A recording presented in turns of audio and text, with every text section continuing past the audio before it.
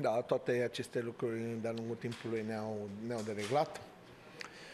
Acum câteva luni eram magicianul, erou, impecabilul, incredibilul, acum sunt prostul, grasul la fraierul, grasul la care nu știe nimic, alb în cap. De la rapid m-am făcut așa, și gras, și alb, și tensiunea 20. Dar ăsta este fotbalul. Din păcate, am pierdut astăzi pe o repriză prima foarte slabă de ambele părți. A doua am dat un gol, iar după aia mi-e greu să explic în 5 minute să iei 3 goluri. Nu știu, chiar mi-e greu să explic și o să mă uit, am văzut un pic la, la primul gol. Asta este. Grasul e fraierul.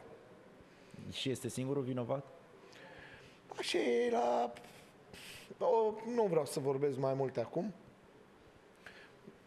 Cu siguranță voi avea o întâlnire cu conducerea și vom găsi, vom încerca să căutăm soluții, încercăm să resuscităm echipa așa cum putem.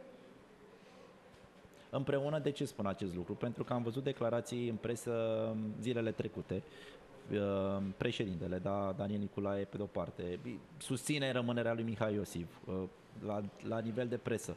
Uh, Victor Angelescu, la fel, spune că nu se poate, oricum, nu prea se poate merge în această direcție pentru că echipa n-a mai câștigat de foarte mult timp.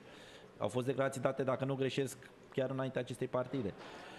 V-am spus, sunt multe, au fost mulți foști fotbaliști care nu apar foarte mult, care m-au susținut, n-am jucat cu ei, am primit telefoane, dar vom, uh, vom vedea ce, ce se întâmplă. Repet, să luăm 3 goluri în 5 minute e, e inadmisibil la o echipă de Liga 1.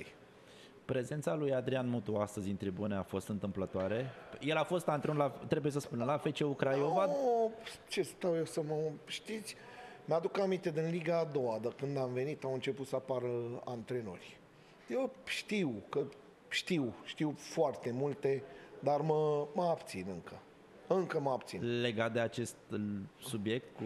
Legat de multe subiecte, nu doar de acest. Acest subiect e problema fiecăruia. Când vine la un meci, stă eu să-l, să-i spun lui X sau lui Y să nu vină la meci.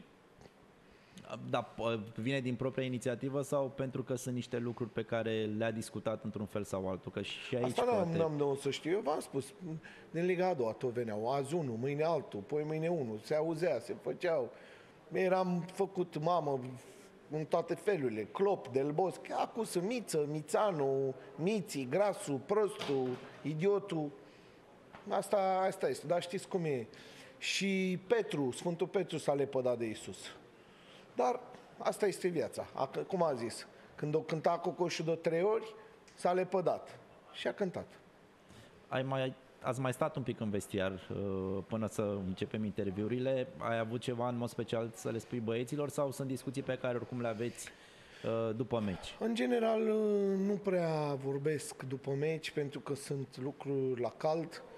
Sunt sigur că au încercat poate atâta pot unii, poate mă, încă mă, mă abțin și vedem ce, ce se va întâmpla în, următorul timp și vom, vom discuta. Poate, nu știu, poate voi face o conferință cum a făcut domnul Beoloni și vom vorbi deschis. Nu vreau să vorbesc la cald, da, discut cu ei, ce v-am spus și dumneavoastră, atâta, că prea multe și ei sunt încărcați după, după joc și orice le spune nu, nu aud acum.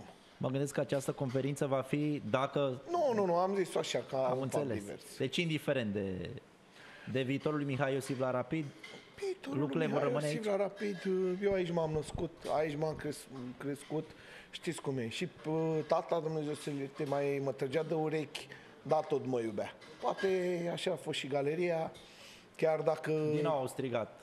Ce anume? Din nou au strigat misie. Păi, da, dacă ei cred că eu sunt vinovatul principal, dar așa e la fotbal, antrenorul e vinovatul, eu iubesc la fel de mult, știu cât de pătima sunt, știu că bagă mâna în buzunar să vină până aici, știu că uh, 90 de metri susține echipa. Rapidul nu e, cum s-a spus, nici al meu, nici al tău, e al urmașilor, urmașilor noștri. Ai, urmașii noștri sper să fie mai, mai echilibrați un pic.